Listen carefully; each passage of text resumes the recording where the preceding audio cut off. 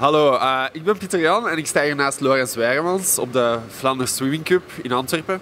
Um, Lorenz heeft al uh, twee EK's meegedaan en uh, heeft deze herfst deelgenomen aan de World Cups. Hoe, waar, hoe was dat? Dat was eigenlijk heel leuk. Het is ja, een speciale ervaring omdat EK, WK's, daar zitten de mensen echt met de clubs, en met de landen bedoel ik. Uh, iedereen is een beetje op zichzelf, terwijl World Cups, ja, alle zwemmers die mixen. Iedereen spreekt met elkaar, iedereen zit samen aan tafel. Het is gewoon een super fun omgeving. Dus dat is heel leerrijk ook op een bepaalde manier. Of, of is het gewoon geleerd de mensen beter kennen achter de zwemmers? Ja, ik denk dat dat allebei een beetje zo... Het is allebei. Het is heel leerrijk om de mensen... Ja, om alles te zien wat zij doen, omdat je er zo dicht op zit. Maar het is ook leuk om alle mensen te leren kennen. Je maakt vrienden van andere landen die je dan op grote toernooien ook nog gaat zien. Dus het is wel ja, heel leuk gewoon.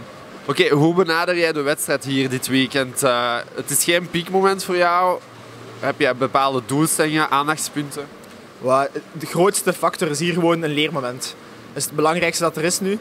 Uh, goede races zijn met tijden zijn iets minder belangrijk. ja, techniek is belangrijk. Gewoon alle, alles, kleine puntjes moeten nu goed zijn. Maar de tijden dat komen later wel.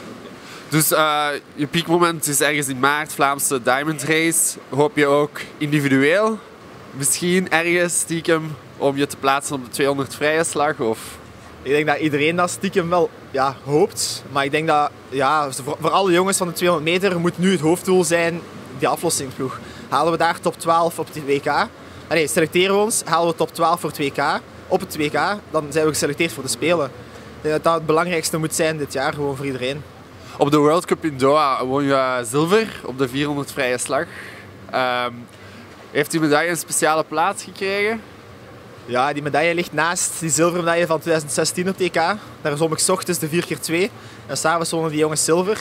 Ik heb daar ook een medaille voor gekregen, omdat ik ook ja, daar een aandeel in had. Die ligt daarnaast. Dus ja, even leuk, even belangrijk. Je hond uh, heet Boomer. Is hij genoemd naar uh, de zoon van Michael Phelps? Spijtig genoeg niet. nee, het is eigenlijk dat is heel raar. Dus mijn, mijn grootouders hebben al heel lang een, vroeger een hond gehad en die noemde ook Boomer. En die hij is eigenlijk daarnaar vernoemd. En het is pas later dat we eigenlijk de link gelegd hebben met... Ah ja, het kind van Michael Phelps, het zoontje, noemt ook Boomer. Dus eigenlijk, ja, had zo moeten zijn. Uh, je studeert eventmanagement. Als je één event ooit eens zou mogen organiseren, welk evenement zou dat dan zijn? Wereldkampioenschap hier in België, zwemmen. In het Sportpaleis, zoals al ooit wouden doen, Europees, maar dan wereldkampioenschap. Het zou fantastisch zijn, hè? Inderdaad, het zou echt fantastisch zijn. Okay. Um, dan moest je geen zwemmer geworden zijn. Welke sport zou je dan beoefend hebben? Simpel, basketbal. Ik heb vroeger basket gedaan en op het moment dat ik 12 was, heb ik moeten kiezen tussen zwemmen en basket voor topsportschool. En heb ik zwemmen gekozen om naar topsportschool te komen. Dus.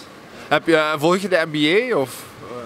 Heel soms. Ik ben in Amerika geweest nu in uh, deze herfst. En we wouden gaan kijken, maar ja, ze zijn heel dure tickets. Hebben het, maar, hebben het niet gedaan. Maar het is wel toch een beetje met spijt in het hart dat ik het niet gedaan heb. Heb je een favoriet team?